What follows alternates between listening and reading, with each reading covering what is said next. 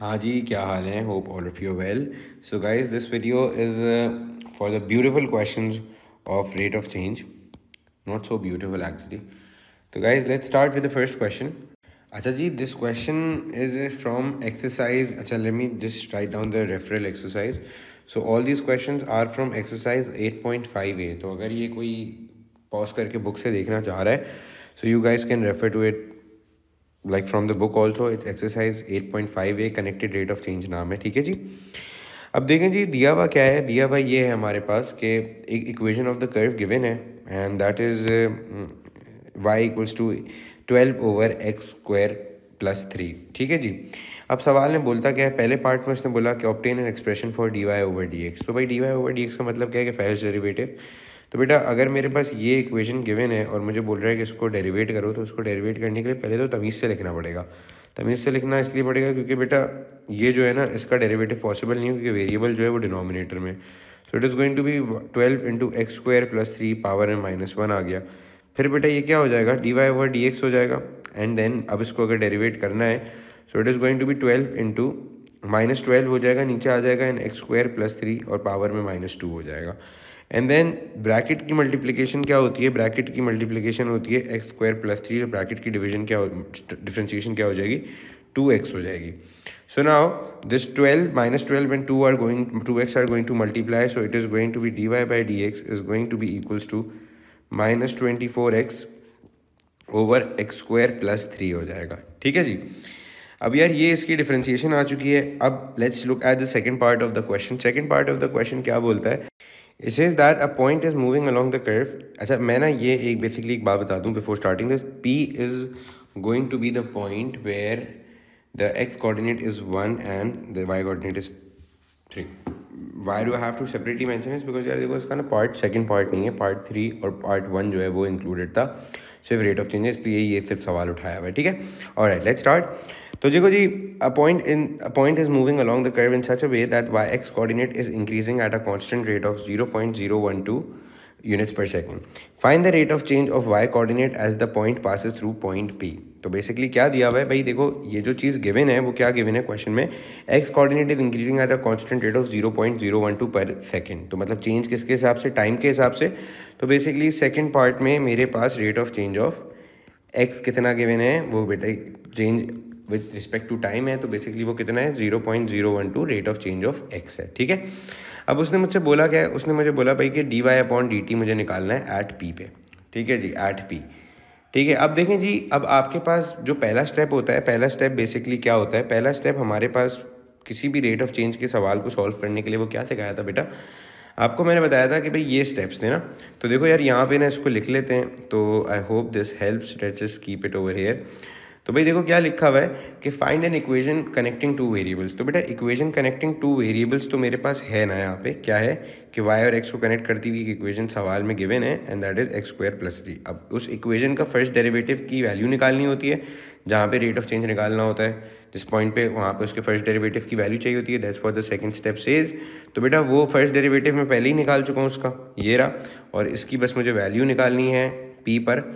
तो बेटा पी पर वैल्यू निकालने के लिए मेरे पास एक्स की क्या वैल्यू हो जाएगी? एक्स की वैल्यू मेरे पास हो जाएगी one so it is going to be minus twenty four into one over four so it is going to be minus six over one हो जाएगा. सो so, अच्छा ये स्क्वायर भी है तो फोर का स्क्वायर बेसिकली क्या होता है? फोर का स्क्वायर बेसिकली सिक्सटीन होता है सॉरी यहाँ पे ये स्क्वायर हो जाएगा and this is going to be four का square sixteen so minus twenty four over sixteen is going to be minus three upon two. तो basically d y upon d x की value कितनी आ रही है? Minus three upon two आ रही है। फिर देखो यार बेसिकली ये माइनस थ्री अपॉइंट टू आ रही है। फिर देखो, अब मेरे पास थर्ड स्टेप क्या होता है? मुझे चेन रूल बनाना होता है। तो बेटा चेन रूल मैं कैसे बनाता हूँ? चेन रूल जो भी चीज़ रिक्वायर्ड होती है, पहले मैं उसको लिखता हूँ बेटा। तो मैं पहले उसको लिखूँगा। So it is going to be d y upon d t लिखा। फिर उसके बाद बेटा दो फ्रैक्शंस बनाता हूँ। दो फ्रैक्शंस बनाने के लिए मेरे पास इस तरह से आ जाता है।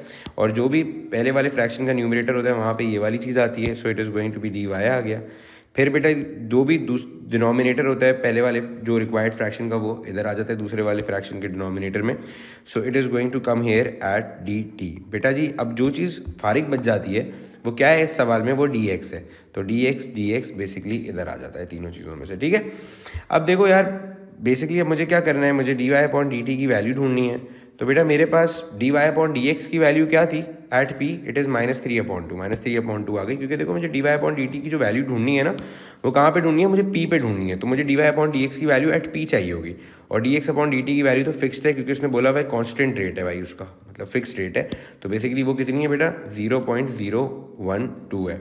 तो my final answer is going to be what my final answer is going to be minus one point five multiply by multiply minus one point five multiply by zero point zero one two and it is going to be zero point minus zero point zero one eight and that is going to be my final answer ठीक है जी?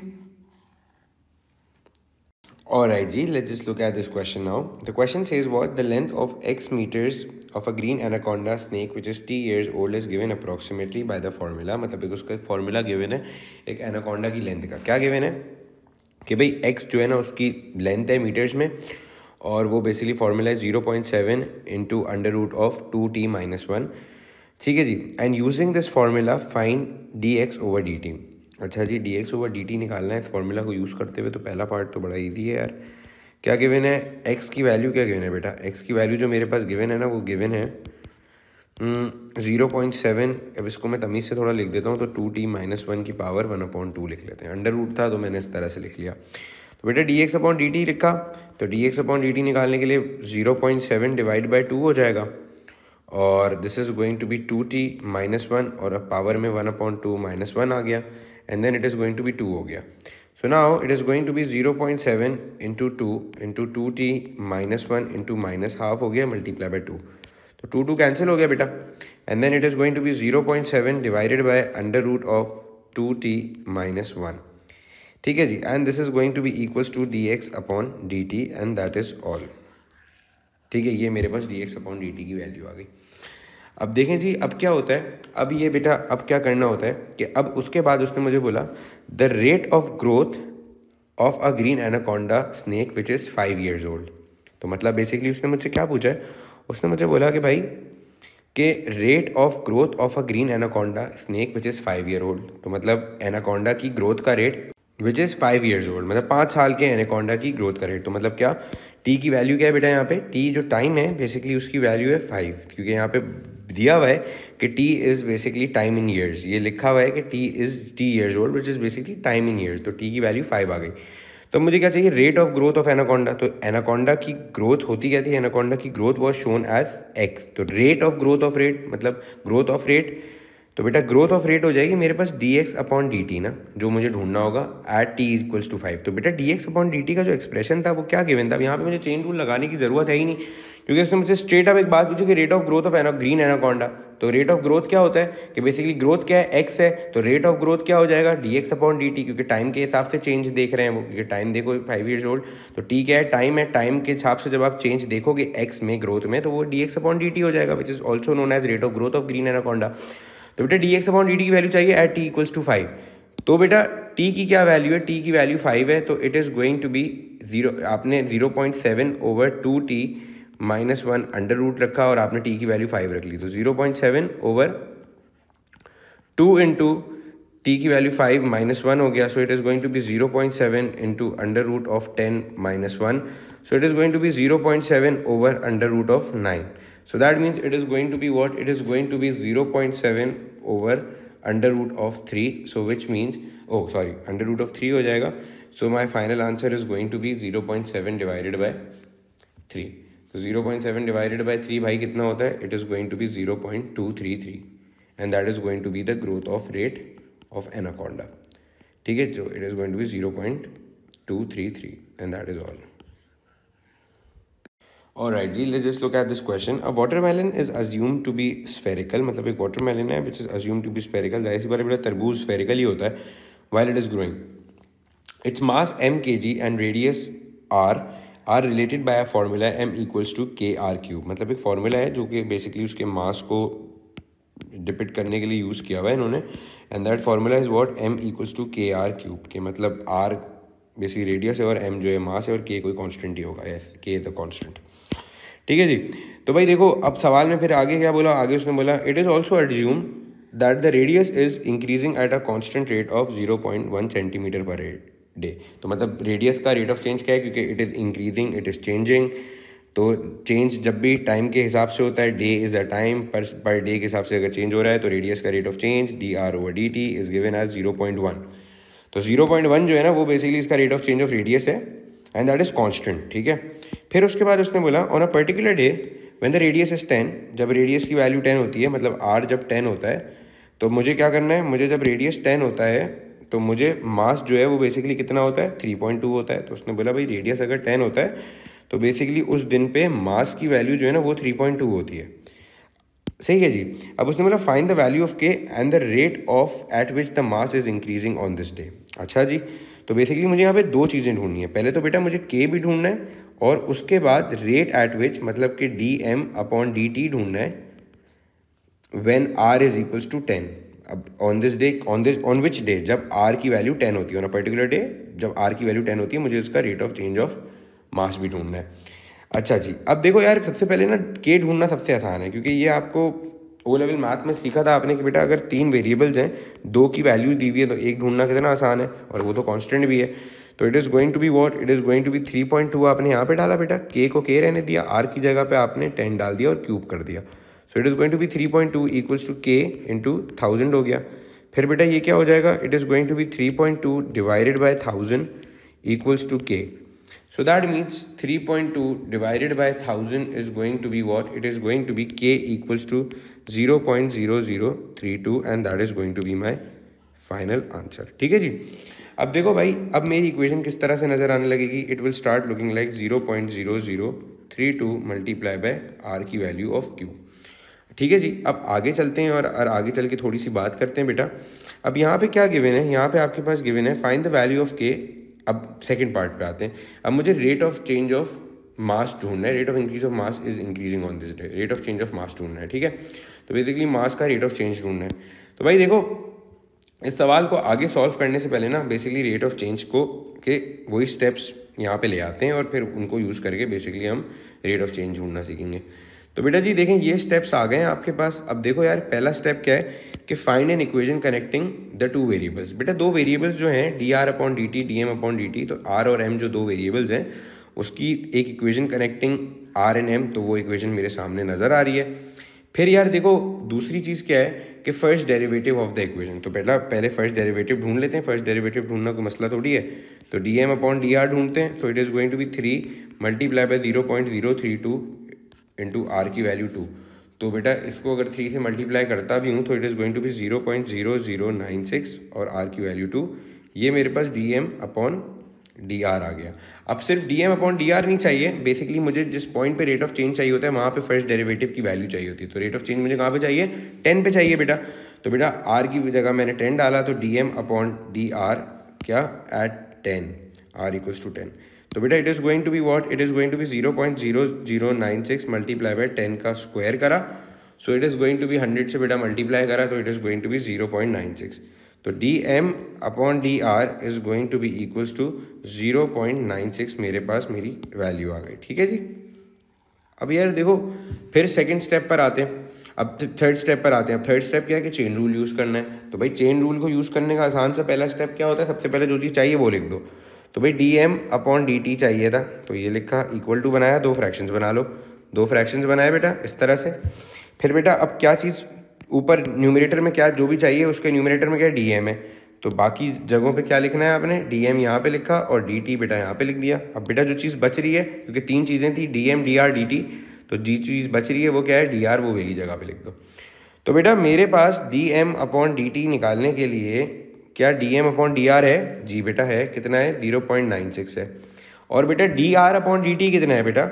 D R upon D T जो मेरे पास है, वो है मेरे पास कितना? ये कांस्टेंट गिवन था क्वेश्चन में ज़ीरो पॉइंट वन तो बेटा ये हो गया ज़ीरो पॉइंट वन तो अब मेरे पास D M upon D T बेटा कितना आ जाएगा? It is going to be zero point nine six multiply by zero point one so it is going to be 0.096 and that is going to be my final answer for this rate of change of mass जो मुझे चाहिए था on that day ठीक है जी? तो ये मेरे पास rate of change of mass आ गया। Is that clear all right ji let's look at this question now The question says what? An oil pipeline under the sea is oil le leaking oil, and a circular patch of oil is formed on the surface of the sea. मतलब भाई, समंदर के अंदर एक oil pipeline है जो कि basically leak कर रही है, और जो है ना, उसकी वजह से समंदर के सरफेस पे मतलब जो समंदर के ऊपर टॉप पे बेसिकली एक सरफेस एक ऑयल बेसिकली पैच फॉर्म्ड हो गया है। जो कि बेसिकली सर्कुलर है। मतलब कि समंदर के टॉप पे एक इस तरह से एक सर्कल जो है ना, उस ऑयल की वजह से फॉर्म हो गया है, जो कि ज़ाहिर सी बात है जैसे जैसे ऑयल लीकेज बढ़ती रहेगी जैसे जैसे दिन गुजरते जाएँगे वैसे वैसे वो बड़ा होता रहेगा। ठीक है? ये कॉन्सेप्ट है, छोटा सा मैंने आपको बता दिया। At midday the radius of the patch of the oil is fifty मतलब कि मिड डे पे रेडियस कितना है बेटा? फाइव है। फिफ्टी है सॉरी तो रेडियस यहाँ पे लिख लेते हैं फिफ्टी है। फिफ्टी मीटर्स है। And is increasing at a rate of three metres per hour तो मतलब चेंज गिवन है रेडियस का टाइम के हिसाब से पर आवर के हिसाब से तो वो कितना हो जाएगा? D R upon D T बेटा कितना हो गया? थ्री मीटर पर आवर हो गया, ठीक है जी? तो सही है। अब उसने बोला क्या? उसने बोला भाई कि आपने क्या करना है? आपने, उसने बोला find the rate at which the area of the oil is increasing at midday मतलब अब वो बोल रहे हैं कि एरिया किस हिसाब से इंक्रीज हो रहा है बेसिकली वो मुझे ढूंढ के बता दो बेटा। तो भाई रेट ऑफ़ चेंज का सवाल है, जल्दी से वो रेट ऑफ़ चेंज के स्टेप्स इंपोर्ट करके देख लेते हैं क्या हो रहा है। तो भाई, ये मेरे पास स्टेप्स होते हैं बेटा। सबसे पहला स्टेप क्या है कि इक्वेशन कनेक्टिंग टू वेरिएबल्स तो कौन से दो वेरिएबल्स हैं रेडियस है और एरिया है। और बेटा, यहाँ पे एक हिंड सवाल में मौजूद था कि जो ऑयल पैच है, वो बेसिकली सर्कुलर है। तो सर्कुलर का एरिया का फॉर्मूला क्या होता है? वो होता है बेटा पाई आर स्क्वायर तो बेटा, क्या है मुझे इक्वेशन मिल गई जो एरिया और रेडियस को कनेक्ट करती है? यस तो पहला स्टेप हो गया इक्वेशन कनेक्टिंग टू वेरिएबल्स मिल चुका है। अब बेटा, इस इक्वेशन का फ़र्स्ट डेरिवेटिव ढूंढना होता है और फिर इसकी वैल्यू निकालनी होती है। Where the rate of change is required वहाँ पे रेट ऑफ़ चेंज कहाँ पे रिक्वायर्ड है? फिफ्टी पे जब आर है, जब रिक्वायर्ड है रेट ऑफ़ चेंज क्योंकि जब मिड डे हो रहा है। ठीक है? क्योंकि मिड डे पे आर फिफ्टी है तो बेसिकली मुझे रेट ऑफ़ चेंज जो निकालना है, मुझे मिड डे पर ही निकालना है। ठीक है? तो बेटा पहला डेरिवेटिव निकालते हैं इसका। तो D A upon D R क्या आएगा? इसका आ जाएगा टू पाई आर आ गया। अब सिर्फ़ ये नहीं चाहिए था बेसिकली इसकी वैल्यू चाहिए at fifty R fifty so D A upon D R is going to be equals to two pi into fifty so it is going to be what hundred pi हो जाएगा। और ये मेरे पास D A upon D R की value आ गई, ठीक है जी? अब एक काम करते हैं बेटा let's move on and let's look at what अब एक काम करते हैं let's look at chain rule क्योंकि थर्ड स्टेप क्या है? चेन रूल है तो चेन रूल में बेटा जो भी चीज़ चाहिए होती है, सबसे पहले वो देख लो। तो D A upon D T बेटा मेरे पास गिवन है। अब बेटा दो फ्रैक्शंस बना वो मुझे चाहिए सॉरी और मुझे पास दो फ्रैक्शन बना लो, जो जो भी चीज़ चाहिए होती है, उसका न्यूमिनेटर में जो भी होता है, वो इधर आता है और डिनोमिनेटर में जो भी होता है, वो इधर आता है। तो बेटा आपने यहाँ पर आके लिख लेना है this is going to be D A this is going to be D T this is going to be D T sorry बाकी जो भी चीज़ बच रही होती है वो यहाँ पर आ जाती है तो उसमें आर बच रहा है तो आर आर यहाँ पर आ जाएगा। तो बेटा D A upon D R की वैल्यू कितनी के गिवन है? हंड्रेड पाए गिवन है, और बेटा D R upon D T की वैल्यू कितनी गिवन है? थ्री गिवन है। ठीक है जी? और मुझे क्या चाहिए? मुझे basically D A upon D T चाहिए। So it is going to be what it is going to be three hundred pi मेरी पास मेरा आंसर हो जाएगा एंड दैट इज़ ऑल ठीक है जी? That is all Alright G, let's just look at this question. The question says that the diagram shows the part of the curve y equals to 8 over x plus 2x and the 3 point ABC on the curve with x coordinate as 1, 2 and 5 respectively. ठीक है जी मतलब ABC के x coordinates पता है एक point है P a point P move along the curve in such a way that its X coordinate increases at a constant rate of zero point zero four per second रुक जाओ भाई दो second तो मतलब X coordinate changes at a zero point zero four per second तो मतलब rate of change of X दिया हुआ है, कैसे? ज़ीरो पॉइंट ज़ीरो फोर दिया हुआ है।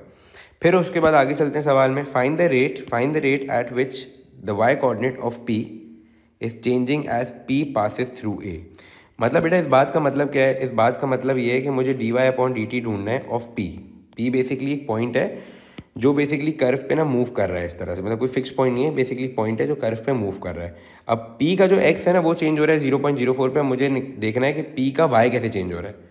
अब पी का वाई कैसे चेंज हो रहा है, कहाँ पर देखना है? मुझे जब देखना है, जब ये पी ए से पास करता है। पी बेसिकली लेट सपोज़ कोई पॉइंट है जो बेसिकली यूँ पास करे जा रहे हैं ना कर्व से।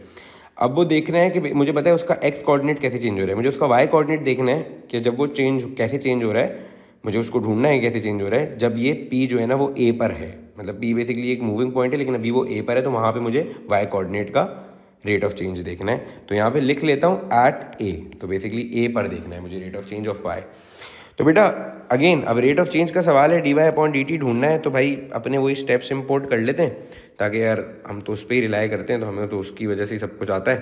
तो भाई आ जाओ, देखते हैं क्या हो रहा है। देखिए जी, पहला पार्ट ना, पहला स्टेप क्या है कि वाई और एक्स की कनेक्टिंग इक्वेशन होनी चाहिए। तो बेटा, सवाल में ना वाई और एक्स की कनेक्टिंग इक्वेशन है एग्जामिनेचर बहुत जन्नती है भाई। पहला पार्ट तो उसने हमारे लिए किया हुआ है। तो भाई, दूसरा पार्ट क्या है? दूसरा पार्ट होता है इसका डेरिवेटिव ढूंढना। अब यार देखो, इसका डेरिवेटिव ढूँढने के लिए पहले उसको तमीज़ से लिख लो बेटा। अच्छा जी तो इसको तमीज़ से लिखा, अब इसका डेरिवेटिव ढूँढने निकलते हैं तो it is going to be D Y upon D X minus eight X की power minus two plus two हो गया। So it is going to be D Y upon D X is going to be equal to minus eight upon X square plus two all right जी, अब मेरे पास first derivative आ गया। बेटा first derivative नहीं निकालना होता, सिर्फ़ फ़र्स्ट डेरिवेटिव की वैल्यू निकालनी होती, जहाँ पे रेट ऑफ़ चेंज ढूंढना है। रेट ऑफ़ चेंज कहाँ पे ढूंढना है? जब पी ए पर है। तो ए का एक्स क्या है? बेटा ए का जो एक्स है, वो है बेसिकली वन क्योंकि दिया हुआ है ना बेटा वन टू फाइव तो ए का वन होगा, इसका टू होगा, इसका फाइव होगा। तो बेसिकली एक्स मेरे पास वन है। ठीक है जी? तो x इक्वल्स टू वन बेटा इसमें डालते हैं अगर so it is going to be what D Y by D X की क्या वैल्यू आ जाएगी? It is going to be minus eight upon one plus two so it is going to be D Y upon D X is going to be minus six आ गया। तो ये मेरे पास कितना आ गया बेटा? ये मेरे पास आ गया माइनस सिक्स तो D Y upon D X मुझे पता चल गया माइनस सिक्स बेटा सेकेंड स्टेप क्या है? थर्ड स्टेप चेन रूल लगा लो। तो बेटा ढूंढना क्या था ढूंढना है, मुझे D Y upon D T ढूंढना है। तो चेन रूल लगाने के लिए जो भी चीज़ चाहिए होती है, उसको इक्वल्स टू की लेफ़्ट हैंड साइड पे लिखो और फिर राइट हैंड साइड पे दो फ्रैक्शन बनाओ। जो भी चीज़ चाहिए उसके न्यूमिनेटर में बेटा क्या है? डी वाई है तो यहाँ पर आके आपने डी वाई लिख लेना है। फिर बेटा डिनोमिनेटर में क्या है? डिनोमिनेटर में उसके है डी टी तो आपने दूसरे वाले फ्रैक्शन के डिनोमिनेटर में डी टी लिख लेना है। बेटा बचा गया बचा आपके पास डी एक्स तो डी एक्स और डी एक्स आ गया। तो बेटा D Y upon D X कितना हो गया? मेरे पास गिवन है, वो है minus six D X upon D T बेटा मेरे पास कितना गिवन है? Zero point zero four given है बेटा। तो बेटा अब इन दोनों को मल्टीप्लाई कर लो तो minus six multiply by zero point zero four बेटा कितना होता है? It is going to be minus zero point two four हो जाएगा। तो my answer is going to be minus zero point two four for D Y upon D T and that is going to be my final answer ठीक है जी? So guys that's it for this video बाकी remaining question के लिए I am making one more video and you guys have to surely watch that क्योंकि यार उसमें मैं और मुश्किल तरह के रिसेंट ईयर के क्वेश्चन कवर कर रहा हूँ। तो please do look at that so that's all for this video see you guys in the next video take care bye